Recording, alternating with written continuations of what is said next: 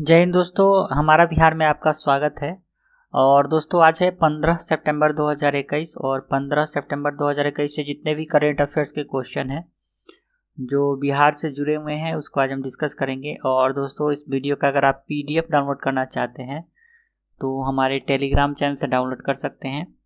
Telegram application में search कीजिए हमारा बिहार एचबी और चैनल को ज्वाइन कीजिए। वहाँ पर आपको सारे दिन का पीडीएफ मिल जाएगा हिंदी और इंग्लिश दोनों लैंग्वेज में। और दोस्तों, इस वीडियो के लास्ट में मैंने रिवीजन का दो प्रश्न रखा है, जिसका आंसर आप लोग को कमेंट बॉक्स में देना है।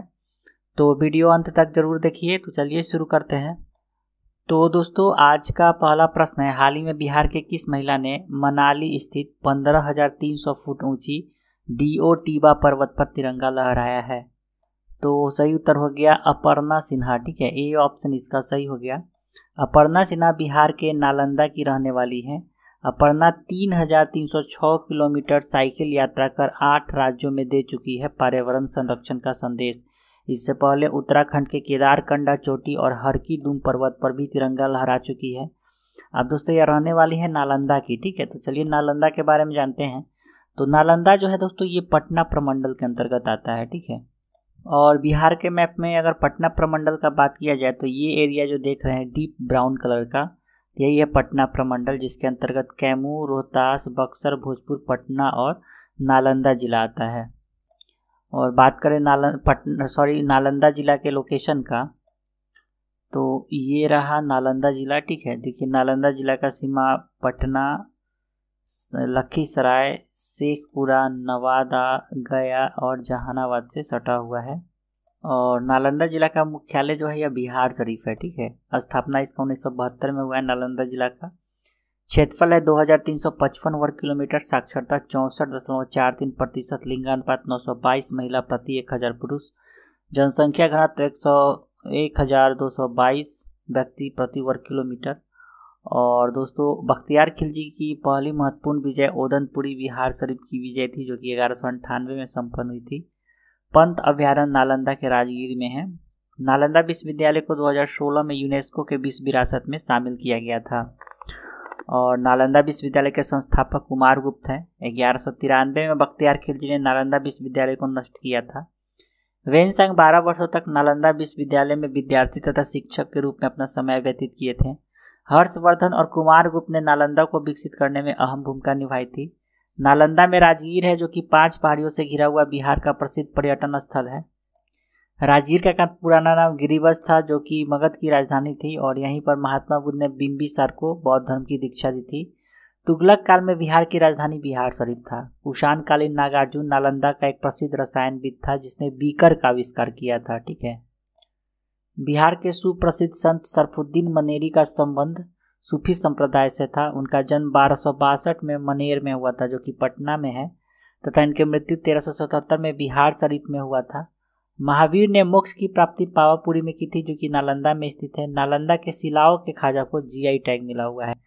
तो इतना सारा स्टैटिकल जी के आता है नालंदा से। चलते हैं अगले प्रश्न की तरफ़। तो अगला प्रश्न है, हाल ही में ड्रग्स पर पूर्ण विराम अभियान के तहत प्रत्येक गाँव के कितने महिलाओं को नशा मुक्ति का ब्रांड एम्बेसडर बनाया जाएगा? तो प्रत्येक गाँव में तीन महिलाओं को नशा मुक्ति का ब्रांड एम्बेसडर बनाया जाएगा। सी ऑप्शन का सही हो गया। और नशा मुक्ति अभियान के तहत गाँव में महिलाओं द्वारा चौपाल का आयोजन किया जाएगा, जिसमें शामिल होने वाली महिलाओं का नशा छुड़ाने के लिए टिप्स दिए जाएँगे, ताकि वे परिवार के वैसे लोगों को नशा की लत से दूर कर सकें जो किसी न किसी तरह का नशा का सेवन कर रहे हों। अगला प्रश्न है, हाल ही में किस जिला के जिला प्रशासन ने रग्बी खेल को गोद लिया है? ठीक है तो पूर्वी चंपारण इसका सही उत्तर हो जाएगा। और पहली बार बिहार में ऐसा हुआ है कि किसी जिला प्रशासन ने किसी खेल को गोद लिया है। बिहार में यह पहली बार हुआ है कि किसी जिला प्रशासन ने किसी खेल को गोद लिया है। इसके तहत बिहार के रग्बी टीम को राष्ट्रीय प्रतियोगिता में भाग लेने से पहले मोतिहारी में विशेष प्रशिक्षण दिया जाएगा। इसकी सारी व्यवस्था जिला प्रशासन के द्वारा किया जाएगा। दोस्तों, पूर्वी चंपारण का नाम आया तो पूर्वी चंपारण से जुड़े कुछ करेंट देख लेते हैं। तो राज्य का मोतिहारी नगर निगम 18 प्लस लोगों का 100 परसेंट टीकाकरण करने वाला पहला नगर निगम बन गया है। बिहार के के पूर्वी चंपारण जिला में स्थित केसरिया बौद्ध स्तूप को पर्यटन की दृष्टि से विकसित करने का निर्णय लिया गया है।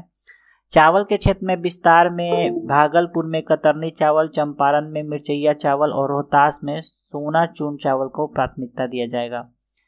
अगला प्रश्न है, हाल ही में बिहार के किस व्यक्ति को social worker of the year का अवार्ड दिया गया है? तो खुर्शीद अहमद को ए ऑप्शन सही हो गया। एडवांटेज ग्रुप के सीईओ सह संस्थापक तथा एडवांटेज सपोर्ट सपोर्ट के सचिव खुर्शीद अहमद को social worker of the year का खिताब दिया गया है। दिल्ली में उन्हें यह पुरस्कार इंडियन ग्लोरी अवार्ड के द्वारा दिया गया है। अगला प्रश्न है, हाल ही में बिहार के किस व्यक्ति को स्वामी ब्रह्मानंद पुरस्कार 2021 से सम्मानित किया गया है? तो आनंद कुमार इसका सही उत्तर हो गया, डी ऑप्शन इसका सही है। आनंद कुमार को यह पुरस्कार हरिद्वार के गुरुकुल कांगरी के कुलपति प्रोफेसर रूप किशोर शास्त्री के द्वारा दिया गया है। पुरस्कार के तौर पर दस हज़ार रुपया नगद, एक कांस्य पदक, एक स्वामी ब्रह्मानंद की कांस्य प्रतिमा और प्रमाण पत्र दिया गया है। यह पुरस्कार हर साल उन लोगों को दिया जाता है जिन्होंने शिक्षा और गौ सेवा में विशेष कार्य किया हो। अगला प्रश्न है, हाल ही में केंद्र सरकार द्वारा जारी किया गया जुलाई माह के उपभोक्ता मूल्य सूचकांक में बिहार को कितना अंक प्राप्त हुआ है? तो दोस्तों, वीडियो अगर पसंद आ रहा है तो वीडियो को एक बार लाइक कर दीजिए और इसका सही उत्तर हो गया एक सौ साठ दशमलव एक, बी ऑप्शन सही हो गया। बिहार में गुजर बसर करना देश के 24 राज्यों से आसान है। यहाँ जीने के लिए रोज़मर्रा की वस्तुएँ अधिकतर अधिकतर प्रदेश से सस्ती है। भारत सरकार की ओर से जारी जुलाई माह के उपभोक्ता मूल्य सूचकांक से इसका खुलासा किया गया है। बिहार में उपभोक्ता वस्तुओं की कीमत राष्ट्रीय औसत से भी कम है। देश का उपभोक्ता मूल्य सूचकांक एक है, जबकि बिहार का उपभोक्ता मूल्य सूचकांक एक है। इसके अनुसार बिहार में मुद्रास्फीति दर साढ़े चार प्रतिशत है, जबकि देश का मुद्रास्फीति दर पाँच दशमलव तीन प्रतिशत है। उपभोक्ता मूल्य सूचकांक हर महीने रोज़मर्रा के जीवन के उपयोग में आने वाले छत्तीस सामग्री समूहों के आधार पर तय किया जाता है। अगला प्रश्न, हाल ही में आयोजित तेईसवीं राज्य कुश्ती प्रतियोगिता में किस जिला ने छह स्वर्ण पदक जीतकर ओवरऑल चैंपियन बना है? तो पटना जिला इसका सही उत्तर हो गया। दूसरा स्थान पे कैमूर जिला रहा, तीसरा स्थान पे भागलपुर जिला रहा है ठीक है। तो ये था आज का करेंट अफेयर्स चलते हैं रिवीजन के तरफ़। तो रिवीजन का पहला प्रश्न था हाल ही में बिहार के किस व्यक्ति को चीन में अंतर्राष्ट्रीय शिक्षक पुरस्कार से सम्मानित किया गया है? तो डॉक्टर विवेक मणि त्रिपाठी को ए ऑप्शन सही हो गया। दूसरा प्रश्न था हाल ही में बिहार के कौन से व्यक्ति को अमेरिका का जॉर्ज वाशिंगटन सम्मान पाने वाले भार, प्रथम भारतीय बने हैं? तो मिर्ज़ा रिजवान ए ऑप्शन सही हो गया। तो दोनों प्रश्न का सही उत्तर हो गया ए आज का रिवीजन का प्रश्न है, हाल ही में बिहार निवासी किस व्यक्ति ने कालिदास की दो प्रसिद्ध पुस्तक मेघदूतम और ऋतु संहारम का अंग्रेज़ी में अनुवाद किया है? और आज का दूसरा प्रश्न है, बिहार के पिग्गी बैंक स्कीम को देश स्तर पर खूब सराहना मिल रहा है, यह आइडिया बिहार के किस जिला से आया है? तो इस दोनों प्रश्न का उत्तर आप लोग को कमेंट बॉक्स में देना है। तो चलिए दोस्तों, आज के लिए इतना ही, आशा करता हूँ आपको यह वीडियो पसंद आया होगा। तो वीडियो अगर पसंद आ रहा है तो वीडियो को एक बार लाइक कर दीजिए।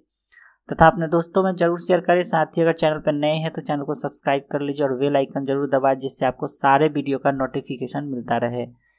तो मिलते हैं जल्दी फिर एक नए एपिसोड के साथ। तब तक के लिए जय हिंद, जय बिहार।